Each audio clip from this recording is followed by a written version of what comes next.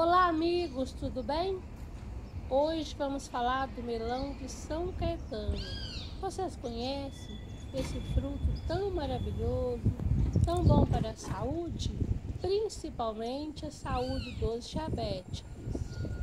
Mas antes de falar do melão de São Caetano, peço um favor.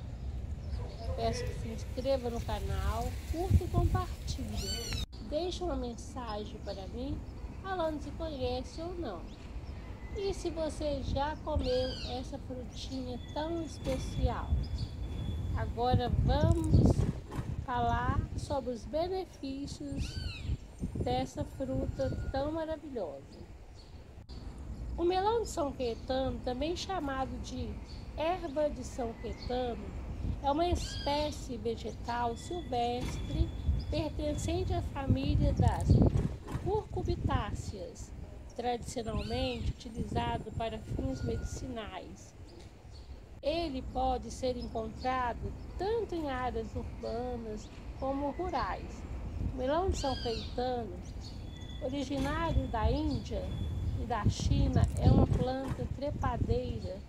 As folhas do melão e os frutos são de sabor amargo mas aquele carocinho, aquele frutinho que tiver dentro do melão, se for bem madurinho, tem um leve sabor doce, tá?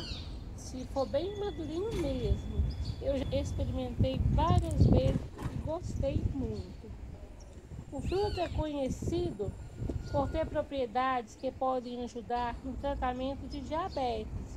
Afinal, ele consegue controlar os níveis de açúcar no sangue e feridas tanto externas como internas, além de outras diversas atividades medicinais. Ele também é usado como antibiótico, antioxidante, antiviral e tônico. Ele pode ser consumido como chá do melão de São Caetano ou então como uma planta refogadinha para ser consumida em uma salada, numa no almoço delicioso. Essa planta também, né, é muito rica em vitamina C e com uma quantidade significativa de vitamina B9. O melão de São Caetano pode ser usado como um todo nas medicinas tradicionais asiática e africana para aliviar os efeitos da diabetes, tratar problemas de estômago respiratório de pele, tosse, úlcera, gente, até reumatismo.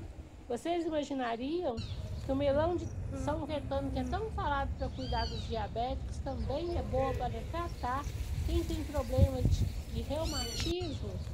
Então, as pessoas que têm problema aí de artrite, artrose, vários tipos de artrite, gotas, gente, fibromialgia, né? Existem diversas pesquisas que apontam o potencial do melão de São Caetano em tratar também o câncer e o reumatismo.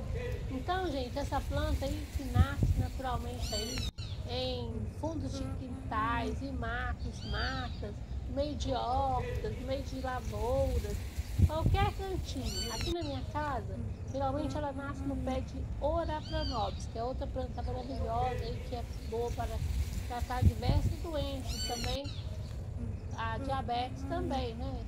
Então, gente, e aqui nasceu, a gente consome. Abraços da Mariana.